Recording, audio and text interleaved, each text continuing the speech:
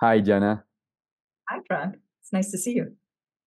It's nice to see you too. Um, I um, I wanted to uh, to talk to you today because um, today was kind of a historical moment, I think, uh, and you tell me if you think the same way for for Palestine and and the the struggle for for justice in Palestine, for accountability in Palestine, and uh, so um, we've had the first day of the hearings in the case that South Africa brought to the International Criminal Co- uh, International Court of Justice, the ICJ, uh, against Israel. Um, you can maybe briefly tell us why it was so quick and that today uh, was like an emergency in a way session about preventive measures to stop what's happening in Gaza, and that the whole case might take actually a lot longer. But um, uh, I know a lot of people, a lot of common friends were actually at The Hague. Uh, I know that you know the some of the lawyers involved um, are also friends. Um, before I ask you a question, I, have got to say I've, I've watched part uh, part of the proceedings.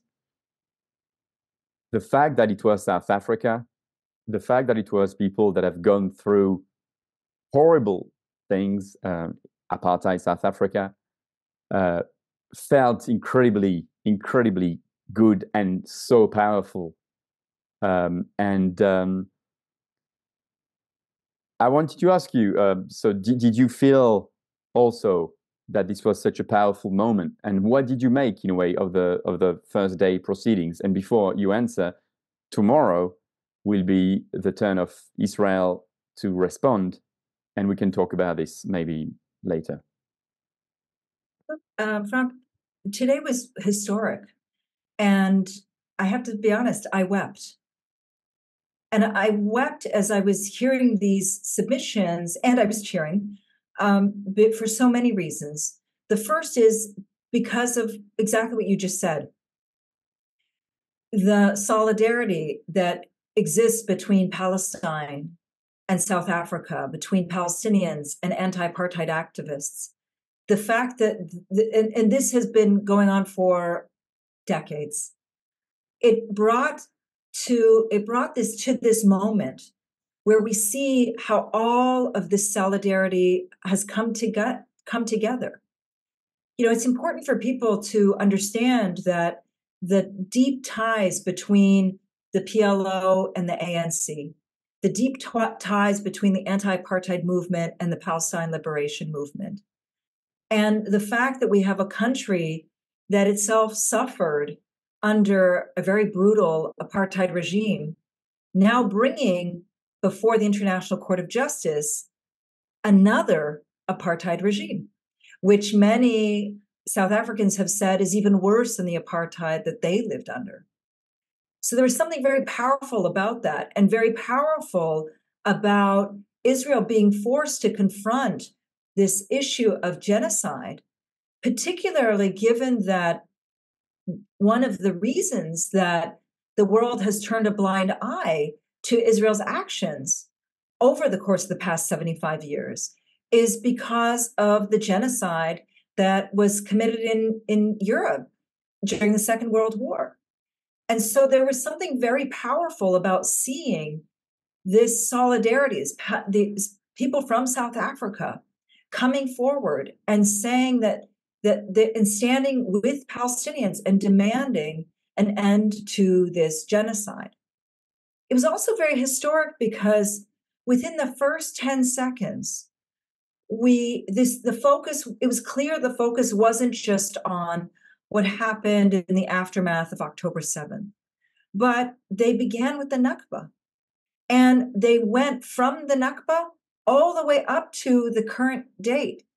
And so it was really an expression that what Israel has been doing isn't just this one time, time event, but that it's being put in its proper context, which is that Israel has been trying to erase and get rid of Palestinians since 1948. And so it was very powerful to witness this, to hear this, and to feel heard for the first time in such a long time. The other part that was really incredible was if you just sat through submission after submission, and I must say they were very professional submissions, very well done.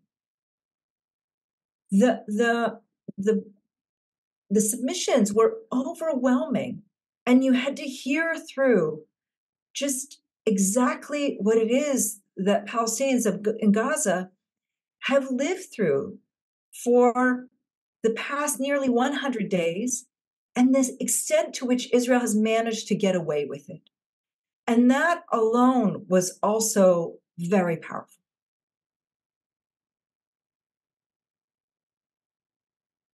I um I mean this is a moment that um again I couldn't watch the whole proceedings um but I've I've I've rewatched some of it including Blinne's uh and sorry Blinne if you're watching us I can't pronounce your name. Uh, I've known Blinne actually for, for many many years, and and it's also you know I've known John Dugard for many years, and even Max du Plessis as well. And um, I mean, I don't want to be emotional or anything, but I felt so much love today for these people, for for John Dugard, for Max, for Blinne, uh, and you know when you feel I don't know. I mean, I think we, you know, we we spoke about this before. Like, that's you know, in the last hundred days, you get a sense that maybe, actually, finally, and it's horrible because there's so many dead. But this is maybe this is a moment. Maybe something's happening. You know, uh, this is definitely Israel has never had to face the law like it's facing today. You know, the 2004 opinion at the ICJ was an advisory, non-binding opinion. This is binding. This also is going to ask the question if the ICJ comes with comes back in, in a week, two weeks, three weeks in favor of South Africa uh, and Palestine uh, and says you got to stop what you're doing. Uh, the it's going to be the mirror is going to be turned to other states as well you know they've got an obligation also to act and for me what was so powerful and Blinne said it in a final like statement is that it's also south africa as a country judging itself under its obligation to prevent a genocide. And this was so so powerful. But he also asked the question about where are the other states? I know some of them have joined now i've, I've you know written in support of south africa but where are the so-called enlightened uh, states of like France, you know, U- the UK and the US.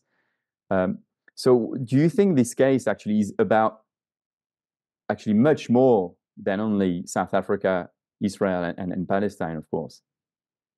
Definitely. Look, I want to be clear um, that what is being sought is, of course, provisional.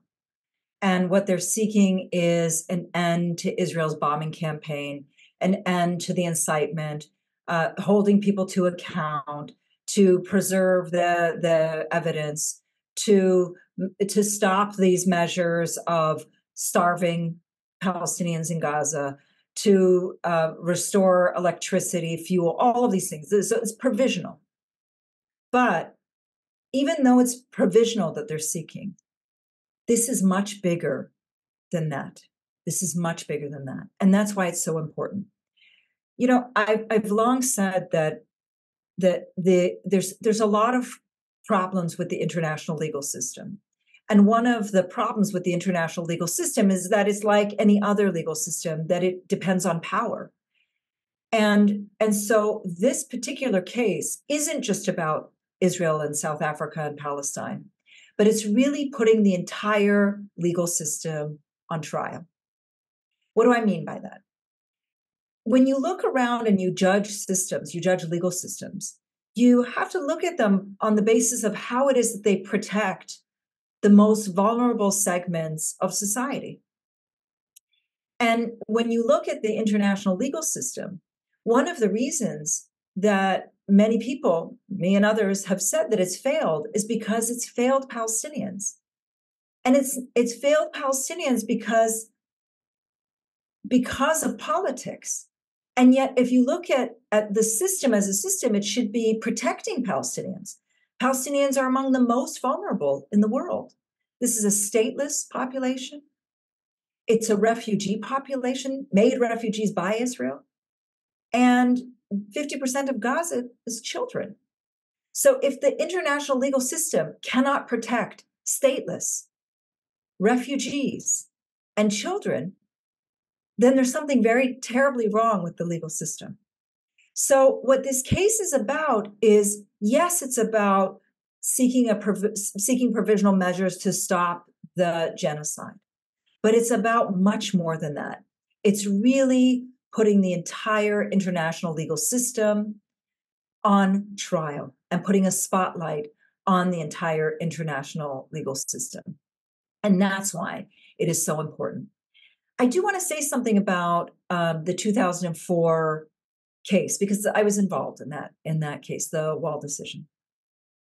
And while that was an advisory opinion, and Israel, um, as you said, effectively blew it off because it's an advisory opinion, it actually laid down a lot of framework and law that states around the world are also continuing to latch onto. And so, what is very important is that while in 2004 they were able to evade any responsibility, that's not the case in 2024. Because in the case of 2024, we actually see that this is a claim on the basis of genocide. It's not an advisory opinion. And because it is not an advisory opinion, it is binding. And so this isn't the first time that Israel has been faced, uh, has had to confront um, courts. And what I've always said is that you don't need to be a lawyer, you don't need to be to, to be a scholar to understand that what Israel's doing is wrong. You just you don't need to do that. But we also know that that when when we are confronted with law, when Israel has to bring its case and weigh it against law, it's going to lose. It lost in 2004 and it's going to lose again in 2024 because what Israel's been doing not only defies law, it defies justice, it defies it defies logic, it defies morality, it defies humanity. And that's why there are so many people around the world who are in support of Palestine and Palestinian freedom. Um, I want to ask you another, actually another comment about again Blinne, because and I refer to her because I've watched her speech a few times. Um, she said something that sent sort of goosebumps all over my body when she she quoted um, a Palestinian pastor who said that the question you're going to have to ask yourselves, and that's everyone, the international community, the legal system, states, citizens, is like, what were you doing? Where were you while Gaza was being genocided? And, and that's why, again, I think this is about much more than the law, than Israel, than Palestine it's about us, right? As a collective, a, collective of human beings. Don't don't you think? You're absolutely right. This is about us. And it's about where we stand when it comes to humanity. And the one of the most powerful things about what he said and what she then uplifted is that again it's taking it out of the context of law, legality, citations, etc., but asking the very basic question about humanity. What is it that we as individuals did to try to stop this genocide? And that's why this case is so important. Okay, and that now it's my my final question. Um, tomorrow it's going to be Israel's turn to, I guess, put its case in front of the court to defend itself. Um, to be honest, like listening to the speeches today, I'm like, what are they going to come up with? What can they answer? You know, and one of the last statement of the South African team was very interesting. it said, like, and I'm quoting, in the speeches to this court today, South Africa has chosen, as you've heard, to avoid the sharing of graphic videos and photos. It was decided against turning this court into a theater for spectacle. And for me, the way I read this is the South African team sending a message to the world, to the court, that this is exactly what Israel is going to do. Uh, so, what do you think Israel is going to do tomorrow? I think Israel's going to do a few things. One is it's going to come forward and say there's no need for provisional measures because it's already scaled back, which is false. That's absolutely false. Two, it's going to claim that it has a right to self defense. That will be the crux of their argument.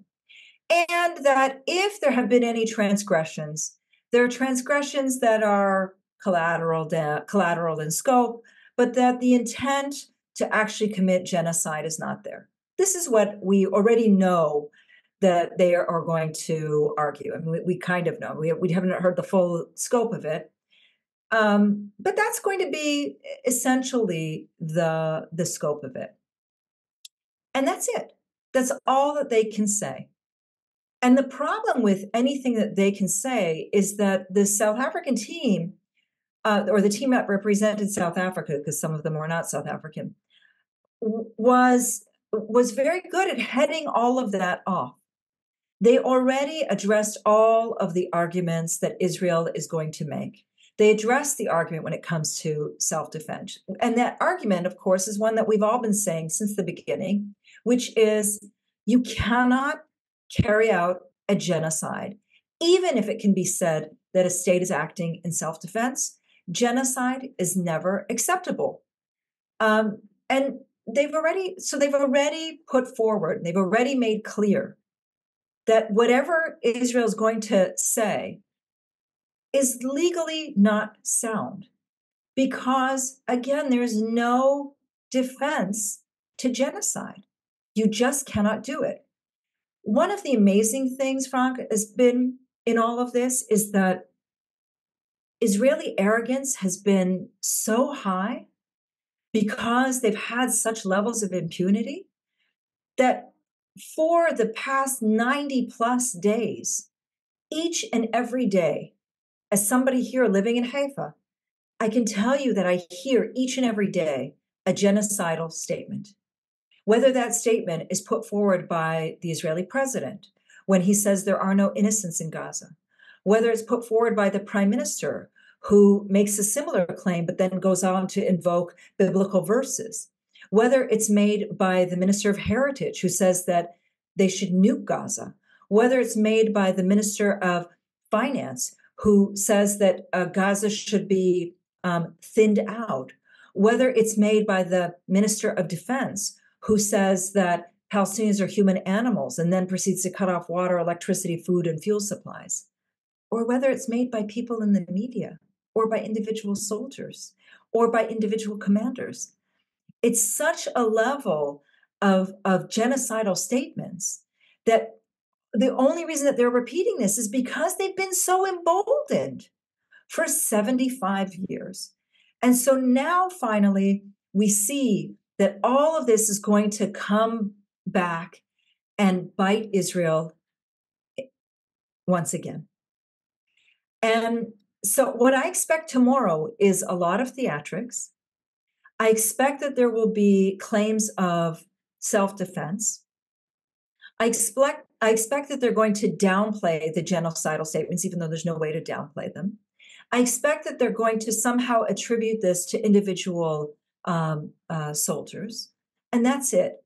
But one thing that I think wasn't touched upon today, which I was hoping would be touched upon, was that it's it's not only that we've seen the flattening of Gaza City, world uh, Palestine's largest city, and the destruction of Beit Hanun. There's not a single, according to people who live in that area, there's not a single house that remains there.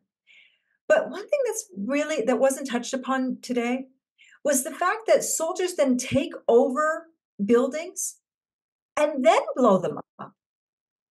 And so it shows you just how much this genocidal intent has been seeped into the mindset and into the operations of the Israeli army. And that I can't wait to hear what the Israelis are going to say about that.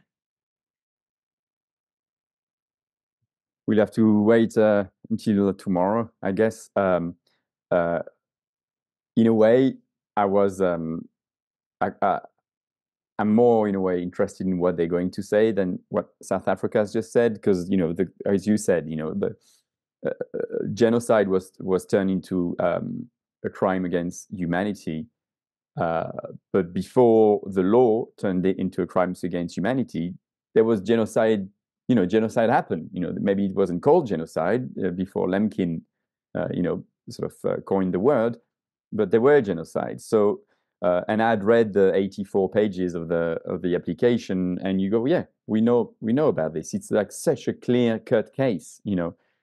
But what are they gonna what what are they gonna come back with? And it's because you know I was talking to Suzanne Abulhawa, and who quoted Norman Finkelstein and saying like, you know, Israel is turning into like a, a lunatic state. But they are in the highest legal court in a way in the world. So they, I don't think they can go with like crazy statements of when Netanyahu went to the UN with his like picture of the Iranian bomb or the. They can't do this. I mean, except if they're actually completely mad, which they probably are. You know, are you know. But anyway, so let's wait to see what's happening tomorrow. And um, but again, seeing seeing this beautiful team defending South Africa, uh, seeing all the people. I know people friends who traveled from France, from Belgium on in on buses and stuff felt like such such a moment, you know, and it's really horrible because so many have died, but it's uh, it, was a, an amazing moment. So uh, shukran Diana. Thank, Thank you. And um, and uh, yeah, speak soon. Speak soon. Thank you.